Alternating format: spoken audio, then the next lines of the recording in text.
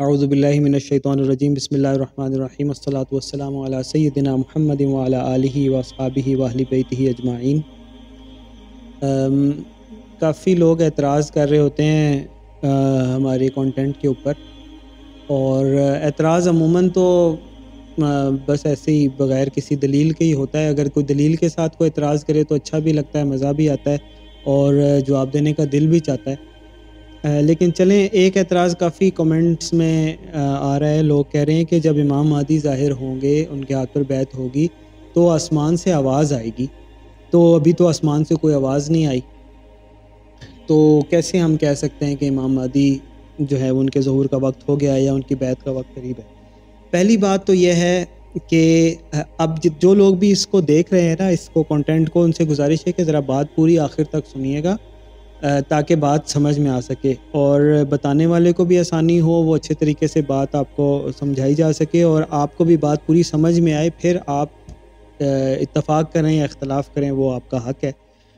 पहली बात तो यह है कि जो इमाम के बैत के वक्त में जो आसमान से आवाज़ आनी है ये अहल तशी का अकीदा है, अहल सुन्नत की, के इस बारे में रवायात आपको सही उसमें नहीं मिलेंगी, यानी कि जो सही हदीस हैं, उसमें इस तरह की कोई रवायत नहीं है। हाँ अलबत् किताबुलफ़ितन में बग़ैर किसी प्रॉपर ग्रेडिंग के कुछ हमें रवायात मिलती हैं। मिसाल के तौर पर ये किताबुलफ़ितन नोएम बिन हमाद की जो है, इसमें नाइन एट वन पे एक रवायत है कि हमसे बयान किया रुशदैन ने इब्न लहिया से और उन्होंने मुझसे बयान फरमाया कि अबू ज़रा ने अब्दुल्ला बिन ज़ुबैर, अम्मार अम्मार बिन यासिर रज़ी अल्लाह तहों ने फरमाया कि ये असल में ये तर्जमा भी अजीब सा हुआ हुआ है।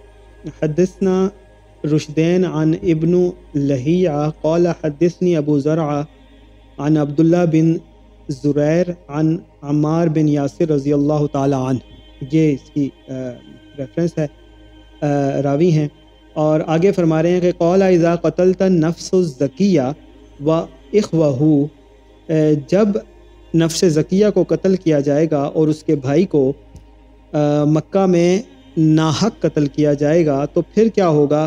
तो नादी मनादिन मिनसमा फिर आसमान से एक पुकारने वाला पुकारेगा और कहेगा कि अन्ना अमीर अकुम फ़लान तुम्हारा अमीर फ़लाँ शख्स है वज़ालिकल महदी, और वो शख्स कौन है? इमामुल महदी हैं। और फिर इसके बाद अगली बात है कि अल्लदी यमलर्दा हक़ अदला, के जो ज़मीन को हक से, सच्चाई इंसाफ से और अदल इंसाफ से भर देगा। ये एक रवायत मिलती है, लेकिन इसकी कोई ग्रेडिंग नहीं है। इसको आप नहीं कह सकते कि ज़यीफ़ है, सही है, हसन है बग़ैर किसी ग्रेडिंग के ये रवायत इसमें मौजूद है। इसी तरह नाइन एट टू नंबर रवायत है। मैं हदीस इसको नहीं इसलिए कह रहा होता कि क्योंकि ना ये जो किताबुलफ़ितन है, इसमें कुछ अकवाल भी मिक्स हो गए हैं, कुछ अदीस भी हैं। तो बेहतर है कि रवायत कह जाएँ कि कोई भी चीज़, ये किसी सहाबी का कौल भी हो सकता है, किसी का, किसी की रवायत भी हो सकती है, कुछ हदीस भी हैं, इसके अंदर काफ़ी चीज़ें जो है ना, वो एक, ये non graded non graded reference book है, जिसके अंदर काफ़ी चीज़ें जो है जमा कर दी गई हैं। Anyways nine eight two number में है कि अबू इसहाक अकरा ने से ये रवायत है कि वो फरम हदसना अबू इसहाक अल-अक़रा हदसनी अबूलहुक्म अलमदनी, कौला हदसनी याहिया बिन सईद, आन सईद बिन अलमुसैब ये ये इसका रावी है। फिर आगे है कि कौला तकून फ़िरक़तन व इख्तलाफ़ हत्ता यतलाऊ कफ़िम मिनसमा अब फरमा रहे हैं कि फ़िरका फ़िरकाबाजी और इख्तलाफ हो जाएगा बहुत ज़्यादा। फिर क्या होगा? हत्ता यतलाऊ कफ़िम मिनसमा हत्ता के आसमान से एक हथेली ज़ाहिर होगी। व युनादी मुनादिन अला इन्ना अमीर अकुम फ़लान के आसमान से एक हथेली ज़ाहिर होगी, उसके बाद पुकारने वाला कहेगा कि तुम्हारा अमीर फ़लाँ शख्स है। इस तरह की और भी इसके अंदर रवायात हैं, कुछ मिक्स हैं किसी में एक रेफरेंस एक पर्सपेक्टिव से बात की गई है, किसी में दूसरे पर्सपेक्टिव से बात की गई है। ऑल दो ये ग्रेडिड नहीं है, लेकिन चांस होता है कि अगर किसी हदीस का रावी मज़बूत नहीं मिला, वो हदीस सही या हसन दर्जे में उसकी उसकी उसकी जो रावी है, उसका जो रेफरेंस है, वो नहीं आ सका। फिर भी चांस होता है कि आप सल्लल्लाहु अलैहि वसल्लम से ही वो बात कोट हुई हो, लेकिन आगे पहुँचने में वो चैन और लड़ी उस तरीके से ना बन पाई हो, जिसकी वजह से उसकी जो ग्रेडिंग है, वो वाली नहीं है, हदीस और सही की। तो अगर इन रवायात को आप कंसिडर भी कर लें, अगर आप इन रवायात को कंसिडर करें तो मेरे भाई काफ़ी हद तक ये बात समझ में आती है कि यकीनन क्योंकि इमामुल मादी ना तो वो नबी होंगे, ना ही उनके पास वही आती होगी। तो कोई ऐसा अल्लाह ताला ने इंतज़ाम ज़रूर फरमाया होगा कि जिससे आम लोगों को बात समझ में आ जाए और सब लोगों को, के ऊपर हुज्जत तमाम हो जाए। तो मैं ख़ुद इन चीज़ों के ऊपर गौर कर रहा था, लेकिन अभी मेरे साथ ये हुआ कि आउट ऑफ़ नो वेयर मैं आप लोगों से रिक्वेस्ट करता रहता हूँ कि अगर आपको हमारी बात सही लगे या गलत लगे, दोनों सूरतों में बेहतरीन तरीका यह है कि आप इस्तारा कर लें। अल्लाह ताला से दुआ करें कि हक़ क्या है, बातिल क्या है। देखें, अगर तो ये बात हुई सच्ची तो आपको पता है कि ये कमेंट्स में या इधर वैसे सोशल मीडिया के ऊपर लोग क्या क्या बातें और अल्फाज कह रहे होते हैं। अगर तो बात हमारी हुई सच्ची ठीक है तो फिर तो काम बड़ा ख़राब है, जो गुस्ताखी करते हैं। देखें, अभी तो हमें बड़ी फ़िक्र है कि कहीं गुस्ताखी सहाबा की ना हो, आप सल्लल्लाहु अलैहि वसल्लम की ना हो हम पूरी कोशिश करते हैं आवाम की बात कर रहा हूँ कि कोई ऐसी गुस्ताखी हम ना करें और ना ही किसी दूसरे को करने दें। लेकिन कितना ही बुरा मामला होगा कि अगर ये बात सच्ची निकल आई तो हम जिन शख्सियत की बात कर रहे हैं मोहम्मद कासिम बिन अब्दुल करीम, वो इमामुल महदी वाकई फ्यूचर में बन गए तो फिर हम लोग क्या मुँह दिखाएँगे रसूलुल्लाह सल्लल्लाहु अलैहि वसल्लम को रोज़ क़्यामत? अल्लाह के हुजूर कैसे पेश होंगे कि ये बंदा वाकई में सच्चा था और किस किस तरह के अल्फाज और अलकाबात से, हम ही में से वो लोग जो आशिक रसूल होने का दावा करते हैं वो इस्तेमाल करते रहे तो फिर तो मामला बड़ा ख़राब हो जाएगा। हाँ अगर अलबात गलत है सही नहीं है तो ठीक है, फिर इस फितने से बचना भी चाहिए, इसके ख़िलाफ़ आवाज़ भी उठानी चाहिए, लेकिन अनफॉर्चुनेटली दलील के साथ बात करने वाले बहुत कम लोग हैं और बिला वजह ताना जनी करने वाले, गालियाँ देने वाले, बुरे अल्फाज इस्तेमाल करने वाले हती कि धमकियाँ तक देने वाले जो अफराद हैं, उनकी तादाद काफ़ी ज़्यादा है। तो एनी वेज़ खैर, हम गुजारिश करते रहते हैं कि अल्लाह ताला से दुआ करें इस्तारा करें इन अल्लाह ताला आपको रता दिखाएगा। तो आउट ऑफ़ नो वेयर हमें कभी कभी ऐसे मैसेजेस आ जाते हैं, लोगों, लोग हमसे रबता करते हैं कि जिससे हमें और भी ज़्यादा पुख्ता होता है हम जो हमारा ये एक थ्योरी है या जो रहनुमाई अल्लाह ताला की तरफ़ से हम सबको मिल रही है, उसके ऊपर हमारा यकीन और भी ज़्यादा पुख्ता हो जाता है कि ये मामला वैसे ही है जैसे हम कह रहे हैं। यानी कि मोहम्मद कासिम बिन अब्दुल करीम इन फ्यूचर में इमामुल मादी होंगे। अभी चंद दिन पहले मुझे एक वॉइस नोट रिसीव हुआ है, वो आप सब सुने। जी।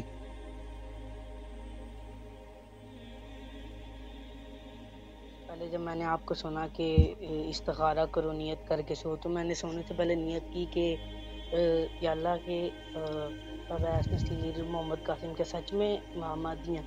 अगर तो क्योंकि गलत लोग भी होते हैं, मैंने दुआ की कि गलत लोग भी होते हैं तो वो मुझे सीधा रास्ता दिखा तो क्या ये तेरा फैसला है? तो मैं सो गया। उसके बाद ना ख्वाब ऐसी थी कि मैं एकेडमी से ना वापस आ रहा हूँ। सुबह से वापस आके एकेडमी गया हूँ, वापस आ रहा हूँ। तो ना एक गली दोनों बंद थी। तीसरी गली में मैं गया हूँ, उधर ना एक पत्थर गिरा हुआ था। उस पर लिखा था कि ये मेरा फैसला है। ठीक है, तुम एक बुज़ुर्ग खड़े, मैंने उनसे पूछा कि ये पत्थर कहाँ से आया? वो कहते कोई चिट्टी सी हवाई चीज़ गिरा के गई है। तो फिर ये कोई फरिश्ता ही हो सकता है। तो इसका जवाब इस तरह से मुझे मिला। जी देखें ये ये अब मैं इन लोगों को जानता नहीं हूँ। हाँ अब उन्होंने मुझे अपना नाम वगैरह बताया है और ये एक साहिब हैं लाहौर से उनका बेटा है चौदह साल का। ये उसने अपना एक्सपीरियंस बताया और ये जो भाई हैं लाहौर के आ, उनको उनके ख़ुद के साथ भी इस तरह का मामला पेश आया है। तो अब देखें अब ये एक और रवायत है किताबुलफ़ितन की नाइन थ्री सेवन नंबर। इसमें क्या है कि अनकरीब मक्के में पनाह लेने वाला पनाह लेगा, उसकी तरफ़ सत्तर हज़ार का लश्कर भेजा जाएगा, उन पर बनो कैस का एक आदमी मुकर होगा।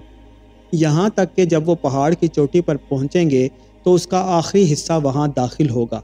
हालाँकि अव्वल हिस्सा अभी वहाँ दाखिल ना हुआ होगा तो हज़रत जबरील अलैहिस्सलाम पुकारेंगे कि, ए बैदा ए बैदा, यानी कि जो सुफियानी लश्कर भेजेगा इमाम महदी रहमतुल्लाह अलैह के के साथ जंग करने के लिए उसको बैदा यानी वादी जिन, बैदा जो है ये वादी जिन जो है उसको, उस, वो जो जगह है वो बैदा है, उसको वादी जिन मशहूर है, वैसे जगह का नाम बैदा है। तो वो वहाँ पर धसा दिया जाएगा तो जबरील पुकारेंगे इस रवायत के मुताबिक, उनकी आवाज़ मशरक़ और मगरब में सुनी जाएगी। उनको पकड़ो, इनमें कोई खैर नहीं, इनकी हलाकत की खबर किसी को ना होगी, सवाए पहाड़ में एक चरवाहे के, जो इनकी तरफ़ देखेगा। यानी कि जब वो उस लश्कर को धसा दिया जाएगा फिर वो उनको खबर देगा। जब आयद उनकी खबर सुनेगा तो निकलेगा। यानी कि वो जो लश्कर है उसके बारे में जबरील इस रवायत के मुताबिक वो ऐलान करेंगे कि उनमें कोई खैर नहीं थी। और यानी ये भी एक तरह से इशारा है आसमान से एक आवाज़ आने का। अभी आपने ये बच, जो जो ड्रीम है ख्वाब है सच्चा ख्वाब इस बच्चे का नौजवान का ये आपने सुना है इससे बिला तबसरा आप ख़ुद अंदाज़ा लगा सकते हैं कि फिर अब हम अगर इंतज़ार कर रहे हैं कि कोई आसमान से बादलों से आवाज़ आएगी तो शायद हमारी कोई उसमें थोड़ी सी ये गलत फहमी हो जाएगी। जो आसमान से आवाज़ आनी है, वो आपके सामने आ रही है और ऐलान और मनादी हो रहा है। मेरे साथ एक्सपीरियंस हुआ है। हमारे यहाँ और दोस्त अहबाब हैं, उनके एक्सपीरियंसेस हम वक्ता फ़वक्ता शेयर करते रहते हैं। ये लाहौर के एक नौजवान का एक्सपीरियंस हमने आपको बता दिया है। तो अब गुजारिश ये है कि मेरे भाई देखें, आज रात को भी जल्ज़ला आया है। अल्लाह ताला की नाराज़गी को हम मोल ले रहे हैं, सैलाब की सूरत हाल बन चुकी है पंजाब के कुछ इलाकों में। और मैं पिछले दो तीन साल से गुजारिश कर रहा हूँ कि देखें, अगर अल्लाह ताला की तरफ़ से ये बात वाकई है तो फिर अल्लाह ताला वो बात मनवा कर छोड़ता है। और अगर उसको मानने में हम लोग देर करें या उसका इनकार करें या उसका मज़ाक उड़ाएँ तो फिर अल्लाह ताला उस कौम का मज़ाक बना देता है। अल्लाह ताला उस कौम को निशान इबरत बना देता है। ये माजी में भी हम देखते रहे हैं। तो इसलिए आप सबसे गुजारिश है, मेरा कोई ज़ाती इंटरेस्ट नहीं है। आप सब, आपसे कभी कोई हम चंदा नहीं मांगते हैं। ना हम कोई कोई हमारी जमात है, कोई जत्था है जिसको हम आपको फॉलो करने को कहें। सिर्फ़ एक मैसेज है जो अल्लाह और उसके रसूल सल्लल्लाहु अलैहि वसल्लम की तरफ़ से इस वक्त आ रहा है। उसको हम रिले कर रहे हैं। तो अल्लाह करे कि सबके समझ में बात आ जाए और सब लोग इस बात को समझें और अल्लाह ताला से दुआ करें कि या अल्लाह, अगर ये वाकई हक है तो हम कहीं पीछे ना रह जाएँ। फिर बाद में रिग्रेट होगा कि काश हम उनके करीबी साथियों में से होते। अल्लाह हमारे हक़ हक़ वर्जुकन तबा वारिन अलबातिल बातिल वर्ज़ुकना